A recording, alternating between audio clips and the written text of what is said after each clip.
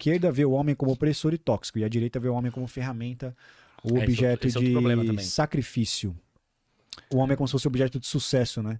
Tem que ser o provedor também, tem que trazer esse lado muitas vezes. É uma coisa que é discutida por muitos conservadores hoje em dia, Hum. que a gente não concorda. Porque Que eu- eu, eu vejo essa narrativa de algumas mulheres é, tentando levantar, trazer de volta esse lado mais tradicional da mulher, e eu até comentei isso recentemente no canal. Aí elas falam dos comportamentos, elas falam do comportamento afetivo, comportamento sexual, comportamento so- é, social. É, basta ver a, a discussão eterna de hoje, né? O Caio Castro tá aí em todo lugar sendo questionado porque ele não pode pagar a conta, né? Porra, é um O que eu- O que eu absurdo. não vejo é a discussão do lado financeiro, entende? Porque o que eu digo é o seguinte, beleza, tudo bem, mas e a parte do dinheiro? A mulher tem que entrar com dinheiro também, e isso eu não vejo dizer. No caso, o homem tem que ter a questão da ambição, o homem tem que ser ambicioso, o homem tem que ter grana, o homem ganha mais, a mulher prefere e tal, etc. Pra mulher ser conservadora, só que eu falo assim, beleza, a mulher 100% conservadora, no meu entendimento, ela é a mulher que é do lar, se dedica à família. Tô dizendo que ela é obrigada, tô dizendo que no Lógico. meu entendimento é isso. É. Mas essas mulheres que se dizem conservadoras, como eu disse, nesses costumes, não o são financeiramente. Aí eu falo, mas peraí, cara, você vai ter o seu dinheiro e eu, o meu dinheiro é nosso? É, Não, isso tá. Isso, eu, eu acho É. que assim, o justo seria você colocar proporcionalmente. Gostei dele, Então, velho. é, Proporcionalmente. O, ca- o cara ganha, sei lá, Claro. 12 mil reais, a mulher ganha 6 mil reais, você faz a divisão da seguinte maneira: você vai pagar 60%, você 30%. Não, acabou. sim, é. Agora, por exemplo, a minha mulher, ela não trabalha. Ela é do lar. Ela Hum. fica em casa, cuida de bebê e, 500. e é isso. Aí outros 500. Então, é o que eu falo, assim. Hoje em dia a gente tem. Por isso que eu até não me coloco na caixinha antifeminista. Porque hoje em dia a gente tem basicamente duas caixinhas. Ou você é feminista, então peito de fora, homem meio bicha e aborto e, Sovaco e e tal. sovaco e É. tal. Ou antifeminista, tipo Ana Campanholo. Que aí também é aquela conservadora, que fala que a mulher tem que ser submissa ao homem, mas que na prática ela também ela é deputada, ela trabalha fora. Então, assim, na prática ela não. Ela fa... Só que ela fala, não, meu marido manda em tudo também, eu não mando em nada. Nada, nada. Eu não Conversa co-. Então, mas é, é- é- é- são esses- essas duas caixinhas ela que quer- existem. Ela não falou isso, não, hein? Ela não falou que o marido dela manda, não. Ela fala. Mas Ela você, não. você discorda que a mulher Eu vi ela falando que o marido dela era, era o escravo, o escravo, o escravo feliz ainda. Ela disse Não. isso do marido Disse? dela, que era um Não. escravo feliz. Eu acho que eu Não. Caramba. não, ela- não, o cara é militar. Ela, ela fala que o cara manda em tudo, assim, enfim. Meu marido Eu não vi estava esse print, feliz. eu usei no meu canal. Nossa, eu não vi. Geralmente eu vejo ela falando que o. Mandada depois pra você no, no me manda, me manda. É, então, assim, geralmente tem essas duas caixinhas.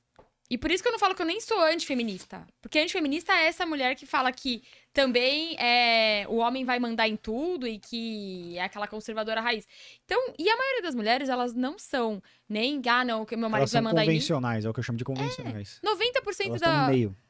Só que esse, esse 90%, 80%, não fala, porque, meu, trabalha, não tem tempo de ficar aí com muita, muito papinho. Só que esses dois extremos são muito barulhentos. Mas pra você, o cara tem que pagar? Como é que é? Pra mim, o primeiro encontro tem que pagar. E o segundo? Na segunda a gente já vê. Mas o primeiro tem que pagar. Sabe por quê? O primeiro encontro, primeiro que o cara convidou, geralmente. Tá. Se eu É. convido, eu posso até pagar, mas beleza. O cara me convidou. Ricardo, a gente.